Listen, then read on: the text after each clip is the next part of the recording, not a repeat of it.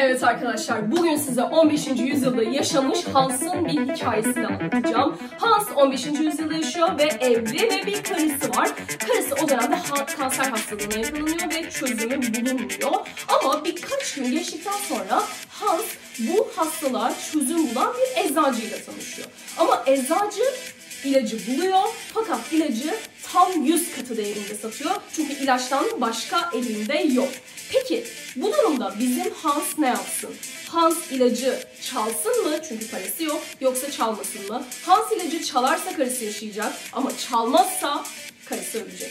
Şimdi soru ve yorumlar sizde. Bunu nereye bağlayacağım? Az sonra kendi yorumumu da katacağım arkadaşlar. Hemen cevaplarınızı alayım. Hans ilacı çalsın mı, çalmasın mı?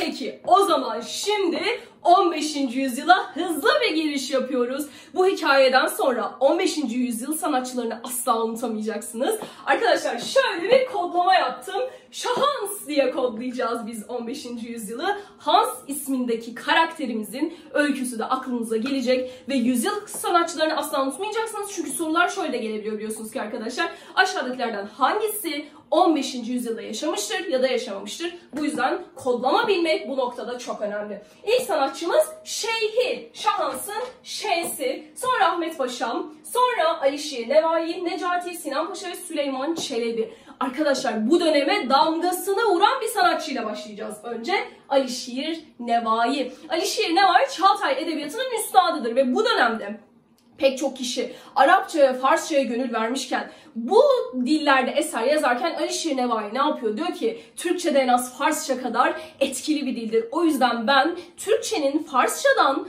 daha üstün olduğunu da belirteceğim diyor. Hangi eseriyle diyor bunu? Hemen sizden cevaplar gelsin bakalım. Ben de biraz sonra söyleyeceğim. Arkadaşlar bunun dışında en önemli özelliklerimiz nelerdir Alişir Nevai ile ilgili? Türkçe yazdığı en eski şiirleri topladığı divanı benim için önemli. Nedir hocam? Bedai ül bidaye çok önemli. Peki bunun dışında nelerini bileceğim? Türkçe divanlarının adlarını bileceğim ve burada ne anlattığını da bilmek zorundayım arkadaşlar. Garaibüs sigar. Çocukluğunu anlatıyor. Çocukluğun gariplikleri. Sigar çocukluk demek. Ve bunların garipliklerini anlatıyor. Sonra Nevadirü Şebab. Gençliğin nadir şiirlerini anlatıyor. Gençlik döneminde aslında yazdığı şiirler de işin içine giriyor. Bedaiül Vasat. Orta yaşlılık artık devreye girecek ve orta yaşlılığın güzelliklerini göreceksiniz arkadaşlar.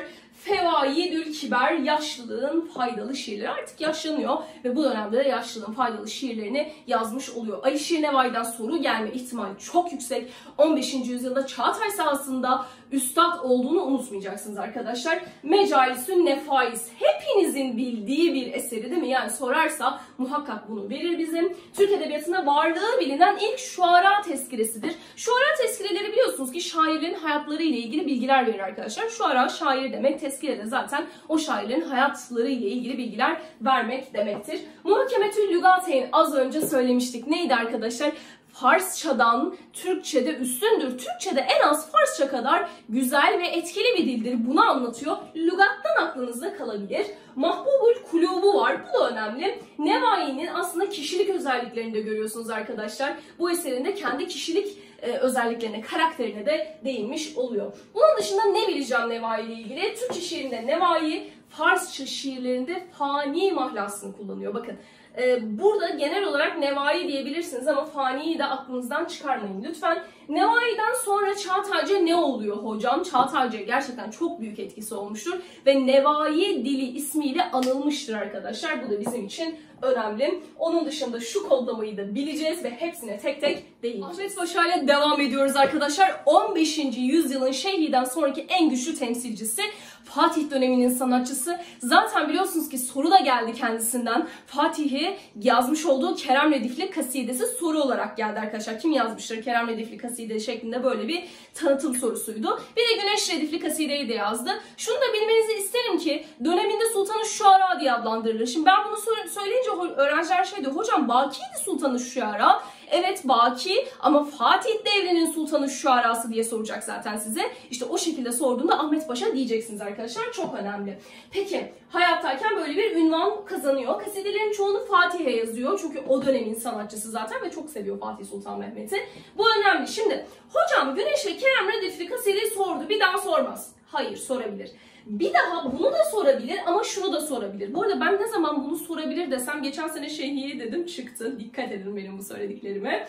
Arkadaşlar ikinci Bayezid'e sunduğu ab Ab da desek daha doğru olur. Ve Cem Sultan'a sunduğu Benefşe kasideleri de meşhurdur tamam mı? Ab su demek zaten ve Benefşe diye iki kasidesi daha var. Yani Ahmet Paşa ile ilgili bunları bilsen sana yeter de artar. Peki gel bakalım Necati'ye. Kendi döneminde ün salmış bir sanatçı ve pek çok sanatçıyı da etkilemiş arkadaşlar. Şiirlerine nazireler yazılmış bir sanatçı. Çok temiz bir dili var arkadaşlar. Necati deyince benim aklıma ne geliyor biliyor musunuz?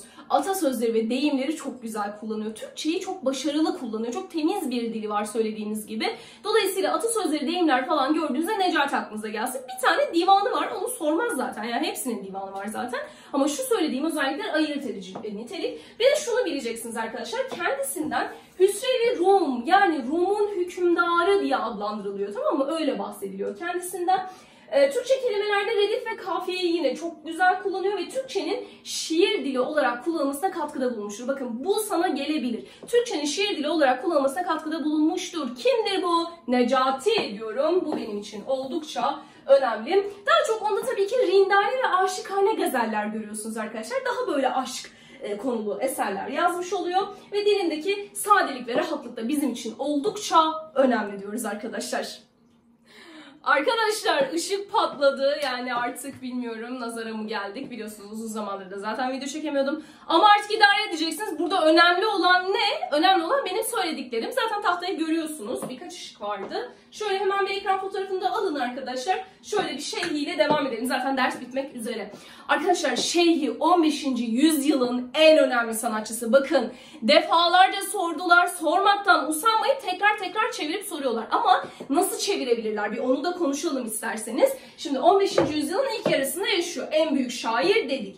Harname'yi birkaç kez sordular. Tekrar sorabilirler. Tasavvufla ilgilenmemiş olmasına rağmen mutasavvuf bir şair. Yani ilgilenmiştir ama mutasavvuf değildir. Şöyle ki tasavvufu şiirlerinde işte ya da mesnevilerinde kullanıyor ama tam olarak mutasavvuf diyemezsiniz kendisine. Tamam bu cepte. Sonra şiirlerinde özellikle gazellerinde tasavvufa yer veriyor. Bu bizim için önemli mazmunlarından da faydalanıyor. Şimdi iki tane eseri var. Biri Hüsrev-i Şirin, diğeri Harname. Benim için çok önemli. Şimdi Hüsrev-i Şirin'e bakalım. Genceli Nizami'den çeviriyor. Bu bilgi cepte. Sonra 2. Murat adına kaleme alınıyor. Bunu da bileceğiz. 15. yüzyılın Türkçesinin özelliklerini gösteriyor. Özellikle arkaik kelimeler kullanıyor. Ne demek hocam bu? Eski kelimeler. O dönemde kullanılan eski kelimeleri görüyoruz arkadaşlar. Tamam mı? Bu bizim için önemli. Ee, bunu kullanıyor. Sonra Hüsrev-i Şirin için şunu da bileceğiz. Onu yazmadan ama sözlü ifade edeyim. Bir aşk mesrevisi arkadaşlar. Yani tasavvufu çok göremiyorsunuz. Artık burada Hüsrev ile Şirin arasındaki bir aşkı görmüş oluyorsunuz arkadaşlar. Peki Harname'de ne görüyorum hocam? Başarılı bir hiciv örneği. Arkadaşlar Şeyhi göz doktoru ve o dönemde e, bir Çelebi Mehmet'in gözlerini tedavi ediyor. Tedavi ettiği için de Çelebi Mehmet ona ödül olarak Tokuzlar köyünün tımarını veriyor. Tımarı almaya giderken bizim şeyhi o dönemin köylüleri tarafından bir güzel dayak yiyor. Bunun üzerine de Harname'yi yazıyor. Aslında şöyle bir hiciv örneğini de çok net bir şekilde görüyorsunuz. Bunun dışında Mesnevi'de aslında sosyal eşitlik konusu işleniyor ve insanoğlu yaptığın işin değeri kadar refaha kavuşmalı. Yani bunu almalı aslında diyor ve bu eseri yazmış oluyor. Ve sosyal eşitsizlikler ince ve zarif bir şekilde de anlatılmış oluyor. Bu yılda tekrar Şeyhi'den soru gelebilir. Lütfen söylediğim cümlelere dikkat edin. Biraz böyle üstü kapalı sorabiliyorlar çünkü arkadaşlar. Bunlara lütfen dikkat edelim. Geliyorum sonraki şairime. Zaten onlarda çok bir şey yok. Sadece nokta atışı yapacağız. Süleyman Çelebi deyince Mevlid'i bileceksiniz arkadaşlar. Vesiletün Necat zirve yapmıştır. Hazreti Muhammed'i anlatır doğumu, işte çocukluğu, ölümü. Dolayısıyla Mevlid bizim için çok önemli ve Vesiletün Necat'la taçlanmış bir sanatçımız. Sinan Paşa'ya geldiğim zaman ne bileceğim nokta atışı? Süslü Nesrin en önemli temsilcisi olduğunu bileceğim. Felsefeyle ilgilendiğini bileceğim. Yine tasavvufla ilgilendiğini bileceğim. Sinan Paşa deyince aklıma tazarruname gelecek. Çok önemli. Yine marifname gelecek çok önemli. Yine Tezkiretül Evliya da gelecek arkadaşlar. Böylece ne yaptık? 15. yüzyılı eksiksiz tamamladık. Önemli dediğim şairlere, vurgu yaptığım şairlere dikkat ederseniz divan edebiyatından soru kaçırmazsınız arkadaşlar. Bugünlük dersimiz bu kadar. Dersi beğendiyseniz beğene tıklamayı ve yeni gelen videolardan haberdar olmak için lütfen kanala abone olmayı unutmayın. Bir sonraki derste görüşürüz. Kendinize iyi bakın.